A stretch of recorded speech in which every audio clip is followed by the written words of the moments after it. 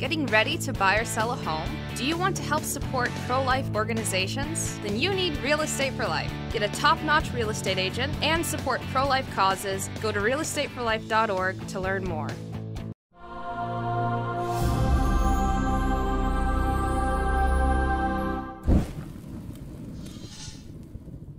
Namane er participating in Spiritus Sancti. Amen.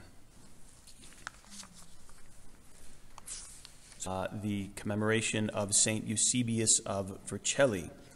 Um, it just says, I think, Saint Eusebius in the Missal, and you might be confused if you've studied any, any kind of history. There is um, Eusebius the historian.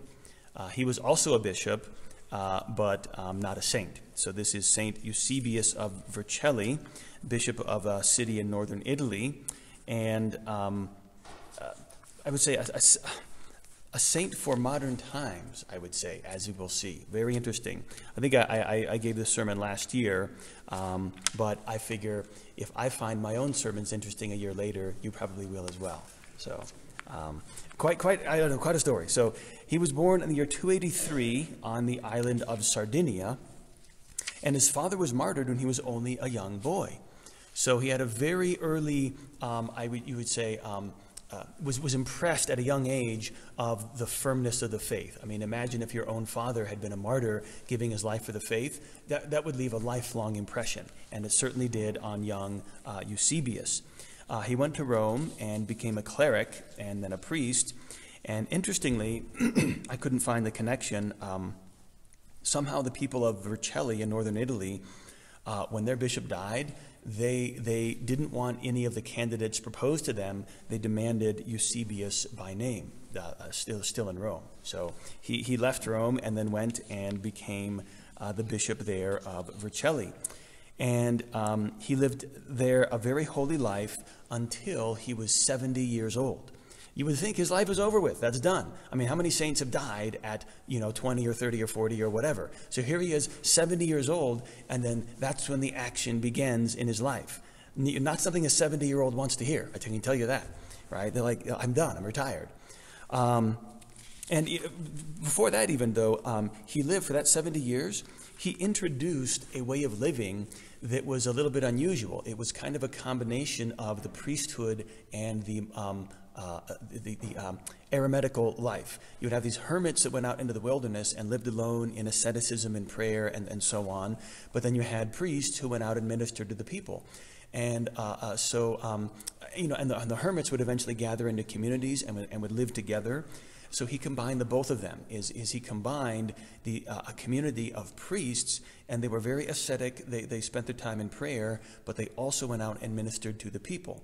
So that was that really hadn't been done before, and he himself, as bishop, lived there with these priests um, in community. And eventually, uh, Saint Augustine would take that and found an order called the Augustinians, uh, and it is a way, of, uh, uh, uh, and they're called canons, right? So um, uh, the founders of the Augustinians, or the, the, Augustinians rather, hold as their founder Saint Augustine and Saint Eusebius of Vercelli for their, their way of life. So that, that's what he did for 70 years, was, was living with these priests. Then, uh, in 354, um, Pope Liberius asked him to go on an important mission to the emperor Constantius II. So this is 354. Uh, Nicaea had happened, you know, some 25 years previous. Uh, Constantine had finally made Christianity uh, legal in the empire and so on. And, and by this time, 354, um, the church had been uh, gaining um, uh, recognition, ascendancy. It was, in fact, even becoming popular and the trouble is when you have an institution that is persecuted, um, I mean, it's very difficult, but when you have an institution that is popular, uh, the persecution starts from within. It begins to get rotten. People join it not because of, of faith or sincerity, but because of popularity or advantage. And that was starting to happen in the church. And so what you had was Arianism. Arianism was growing, which was a heresy claiming that Christ our Lord was not um, equal to the Father, uh, that, that he was somehow a, crea- a creature, a creator, a creation. This had been condemned at Nicaea in 325. It was still a problem. In 354, Arianism was still a problem. And so it was, it was causing such trouble uh, that uh, Liberius asked uh, Eusebius, you need to go to the emperor and request a council be called in Milan uh, to, to, to, deal with this problem of Arianism. And um, in fact, due to this heresy, several bishops had already been deposed and sent into exile by Arian bishops. Most notably was St. Athanasius, Bishop of Alexandria. And so Eusebius went to the emperor and asked him, you, you, you need to convene this council. There's this Arianism, it's a problem. And so Constantius II does call the council. He holds it in Milan, Italy.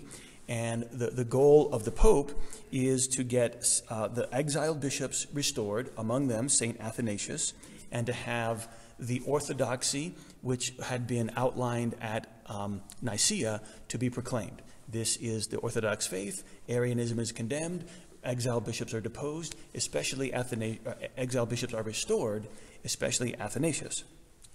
So this is the goal of the, this council that they're calling. Emperor Constantius II calls the council, uh, and um, uh, uh, um, Eusebius of Vercelli attends. There's one other cleric with him, and then there's also the Bishop of Milan is in communication with the Pope. So they arrive, and Constantius uh, permits a council to be called. Over a hundred bishops attend, and it convenes. He has them in, in a great hall. Once the council convenes, the emperor locks all the doors in the hall and presents an article which condemns Athanasius and promotes Arianism. It was a trap. Like he didn't know that Constantius already was an Arian himself. And so it had the exact opposite. And, and Constantius presented to all the bishops present you have two choices either sign these documents promoting Arianism, condemning Athanasius, or die. Like those are your options. So which one are you going to pick? Uh, out of the hundred bishops who were there, it was Eusebius of Vercelli, the cleric was with him, and the bishop of Milan. They refused. They would not sign it. Everybody else signed this heretical document, every other bishop. Uh, so it, uh, it, turns out that, that, that um, they were not uh, executed, those three, but they were sent into exile. And so Eusebius is, you know, 70, maybe 71 years old. He spends the next seven years in exile. Um, he was sent to Syria and then sent to Turkey and finally to Egypt. And I mean, he's you know 80 years old almost, you know, in his mid 70s, uh, an aged, and venerable old man, and yet he was treated very roughly. He was ridiculed. He was beaten in different places. And one one city even dragged him through the streets. Uh, but he remained constant in his faith, uh, and in, the in, in the spite of complete failure. The, the, this council was called by the Pope, and that, that, we need to do something. This is a terrible crisis. We're going to call this council. This is going to fix everything. It made everything worse. What were they going to do? How was the church going to recover? The, the Arianism, St. Jerome said, the world groaned and found itself Arian. Uh, Athanasius was exiled. He was one of the only bishops who was vocally effective in fighting Arianism, and he was exiled. The Pope, it seemed, was helpless. Um, everything was stacked against it. The church was infected, uh, bishops were heretical everywhere, and the government was against the church as well. Does that sound familiar? Right? Any, any, anything like we're experiencing today? and now, what was the solution? So Constantius II eventually dies, as all emperors do, no matter how powerful you are, you will die. And there, I mean, you can imagine the prayers, uh, begging God, we need a good emperor to be uh, appointed next. We need somebody who's good and strong and, and sympathetic to the faith, somebody who's not a heretic. This is what the church needs. You know, spare, O Lord, spare your people. You can imagine the prayers. So, what do you think they got after Constantius II, who was an Arian? Julian the Apostate, who not only was not an Arian, he hated Christ, he hated the church, and he made it his mission to destroy it. And in fact, you had several martyrs under Julian the Apostate. Um, uh, who, who, who, was, who was martyring people in his own. We're, so we're going back 100 years. Like, not only did we not get something bad, we got something worse. Now, do you think this was part of God's plan? Well, it's part of God's permissive plan because um, one of the ways that God achieves his goals is by letting evil get what it wants. And now, what did Julian the Apostate do when he came into power? He hated the church and he wanted to weaken it. And he noticed that there were all these exiled bishops who had been driven out by Arians.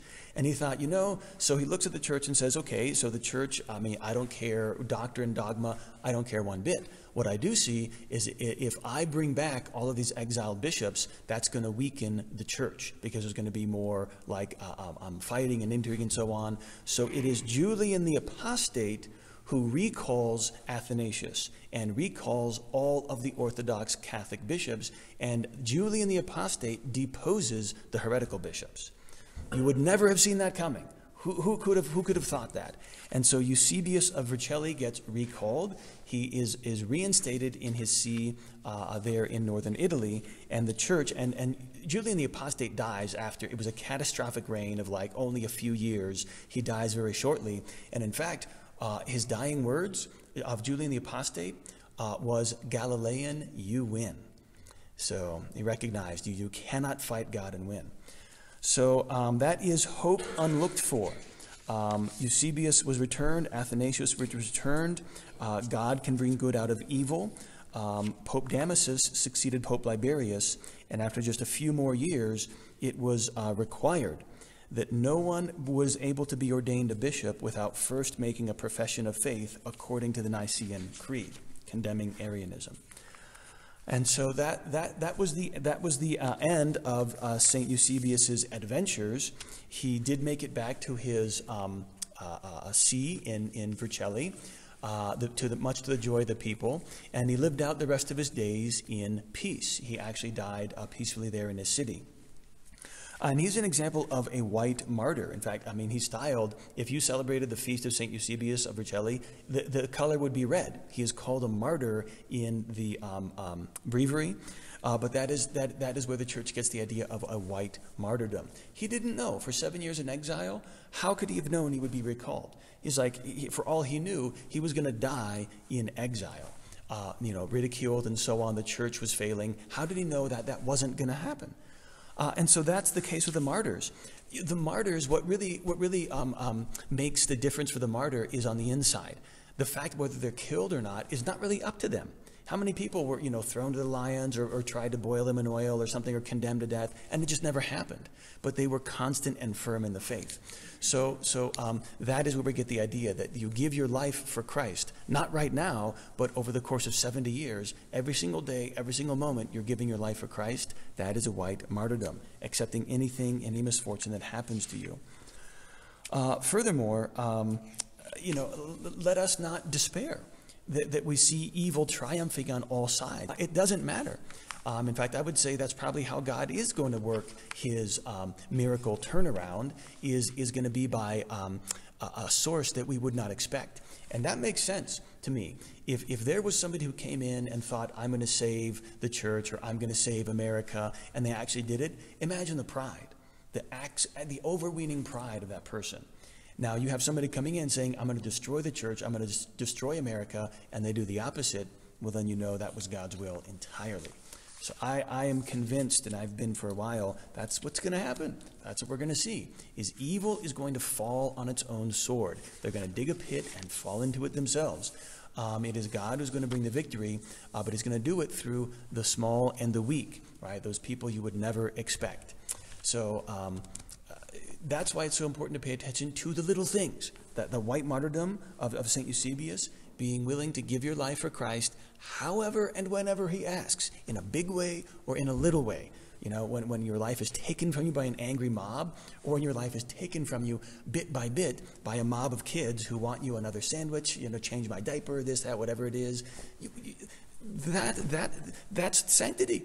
It doesn't matter, big or little, sanctity is, is the generosity you give to God, and, and that is what God uses to change the world and affect big changes. So um, let us take that to heart, ask for the intercession of St. Eusebius and all saints and all bishops who have lived through difficult times in the church. This is no different than before. God will see us through. We have to be willing to suffer however He sees fit, and we will, we will be um, imitating Christ in so doing. Uh, so God bless you all. In the name of the Father, and the Son, and the Holy Ghost. Amen.